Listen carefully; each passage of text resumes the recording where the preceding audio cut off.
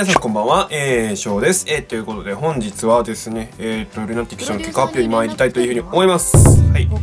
えー、まず、えー、結果発表に行く前に、えー、まあ確認したいことがあるんですけれども、まあ、皆さん分かってる通り、まあ、僕が、えー、今回2000円入らなければもうゴルというね話、まあ、僕もちゃんと覚えてます。お熱心踊ります。2000円入らなかったら。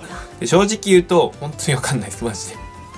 あのー、結構ギリギリかなって感じで僕昼の12時にイベントやからやってないんですよ。昼の12時からやってないんですよ最終日。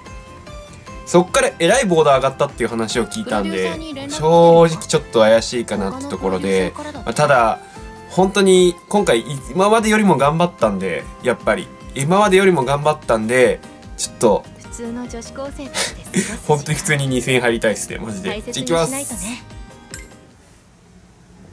ルナティクションかっけじゃあ行きましょう。タッチ。イベントポイント10万7000うわアップねー1463位ですね。はいえー、ということで中間発表よりだいぶ下がりましたし危なー。2000入れたでも。よかった。まあ、ということで、2000入れて、ハイスコアも無事筋トレを取ることができました。一応ボーダー見てみますか。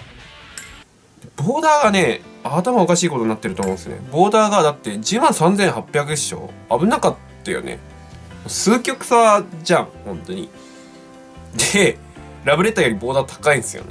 ね、考えたら。だから今まで最高、今までの、えー、っと、この音メモリ形式の中で、一番ボーダーが高いイベントになりました。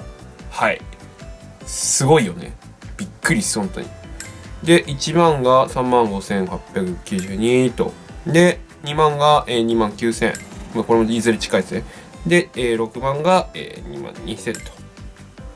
で、えー、12枚が、えー、2万1150ということで、まあこの辺はいつも通りなんですけど、やっぱり2000ボーダーだけどうしてもなんか高いところはありますよね。やっぱり、まあ、米の15、サラン15っていう需要が非常に高いのだなっていうことが、まあ伺えるんじゃないかなってところです。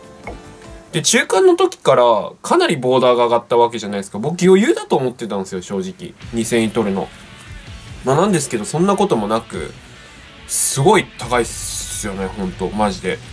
ということで、あのー、まあもう今後も引きが引けないというか、ただここまで走れるのもちょっと難しいなと思って、2000円キープし続けるっていうのもここから大変なんですけど、まあただやっぱり、まあ、ちょっと僕、デレステ始めてから結構2000をずっとキープすることを目標にしてたので、今まで。ちょっと暗記ラッケかなりサボっちゃったんですけど、まあ、なんで、まあ、今後もちゃんと2000キープしつつ頑張っていきたいなというふうに思います。まあ、何かしら今回は多分見てる皆さん、ああ、踊らねえんだって思うかもしれないですけど、まあ、いずれまたね、まあ、ちょっと自分がたるんでるんだなとか思うかもし思った時にはちょっとまあそういう罰ゲームではないですけどまあなんかそういうできなかったら何々するよっていうまあ条件をつけていろいろやっていきたいなと思うので、がっかりしないでください。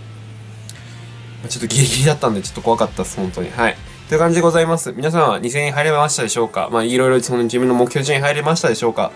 えー、まあ、次、次回イベントのね、もう予告も出てるんで、まあ、次回のイベントも、えー、ぜひぜひ一緒に頑張っていきましょう。ということで、以上が、えー、今回の動画となります。えー、この動画やったらグッドボタン、高評価の方よろしくお願いします。チャンネル登録まだという方はぜひチャンネル登録の方よろしくお願いします。また Twitter の方もやってるので、ぜひ Twitter の方のフォローもよろしくお願いします。では、えー、また次の方動画でお会いしましょう。じゃあね